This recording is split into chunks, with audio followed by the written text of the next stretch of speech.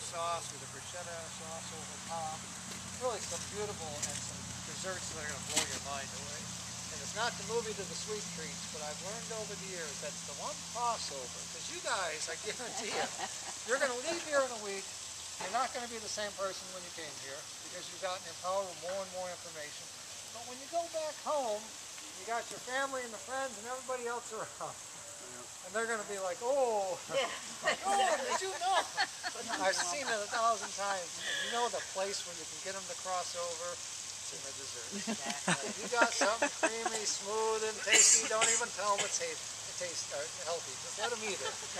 And then after they say how good it is, then you start telling them. And then you got that teachable window. But I find when you try to push people, usually their, their blocks come up and it makes resistance.